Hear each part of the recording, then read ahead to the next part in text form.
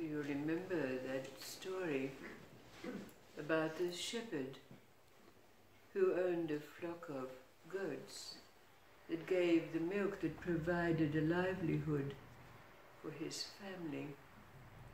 And he had three sons who tended that flock for him.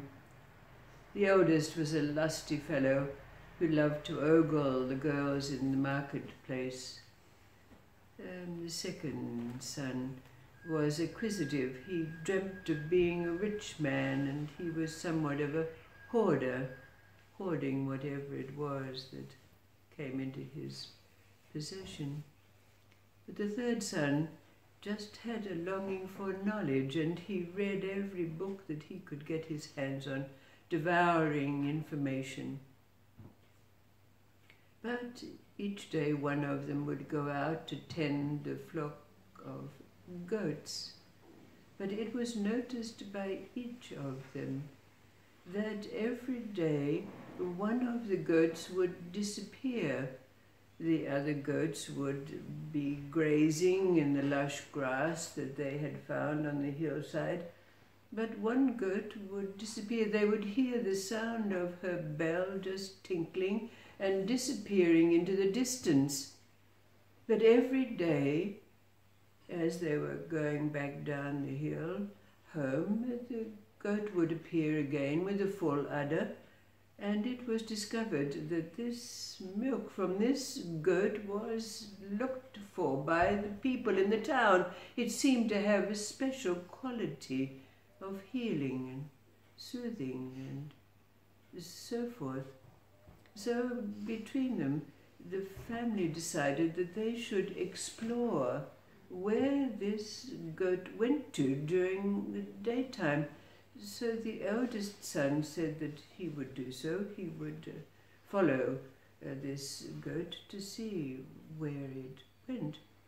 So on that day he followed the sound of the bell, which took him to the entrance to a cave and listening to the sound of the bell around the neck of the goat, he went into the darkness and followed the sound. But suddenly he came to an area in the cave where it seemed to be quite light, and there in front of him, somehow, this beautiful maiden appeared, and she was naked.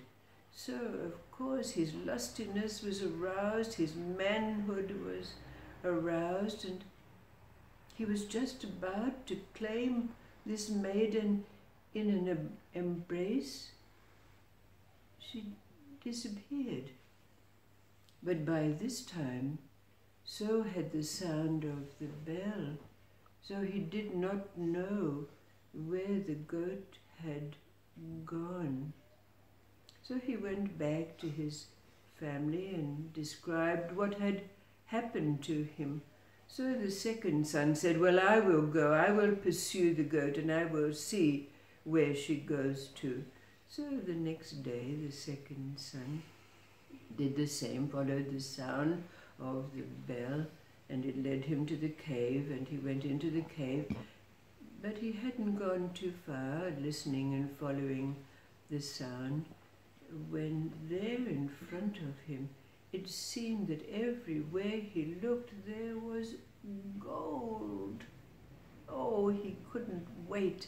He gathered the gold up and put it in his pockets, in his cloak.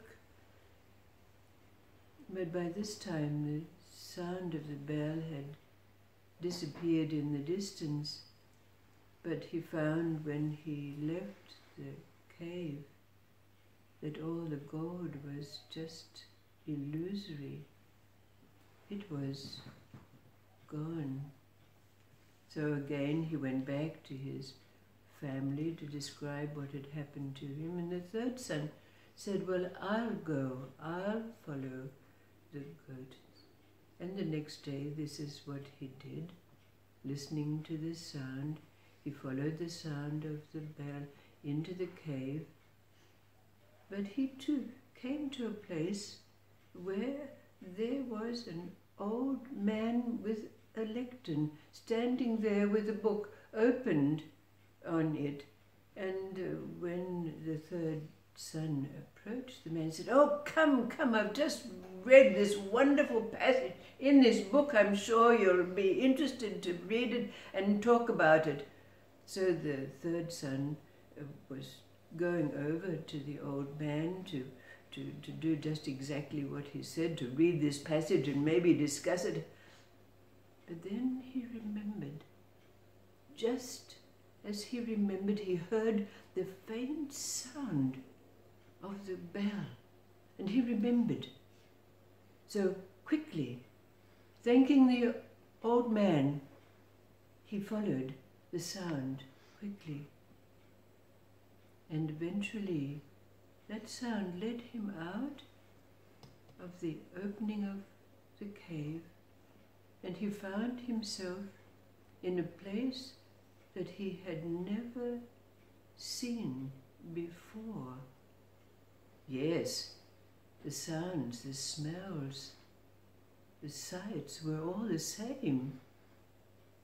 He could see the waving grass. He could smell the fruit on the trees.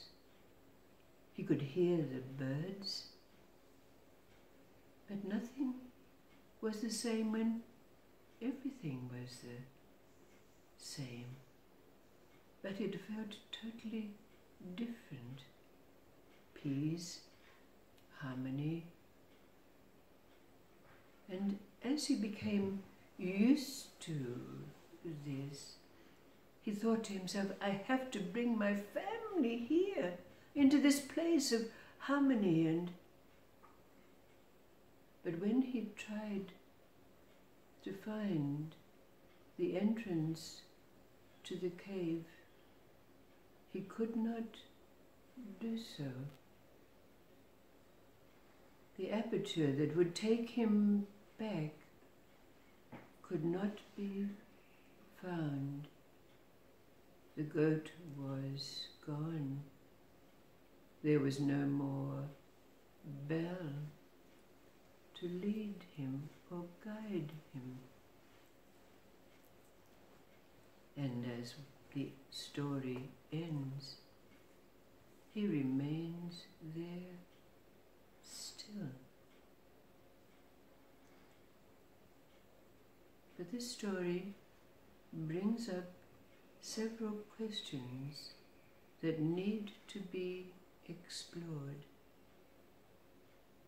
What was or is the sound of that bell that did not, has not allowed us to be seduced into life, to become a this or a that, or fill, fulfill some mind aspiration. That sound, that bell, always drawing us back to bring us to a place where we recognize and know that we can't go back. Nothing will ever be the same again the sights, the sounds, the smells might be the same,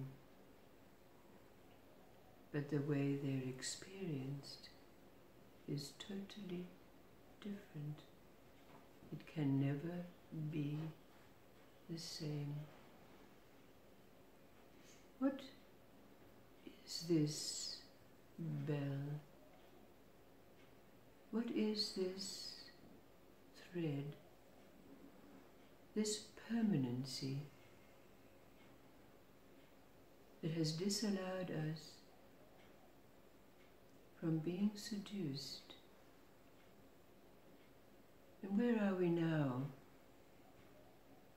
What is life for us as the growing recognition has come that we cannot go back.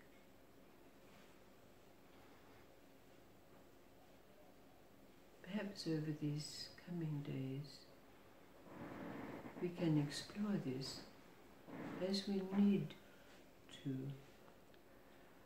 to answer the questions who am I and what do I do?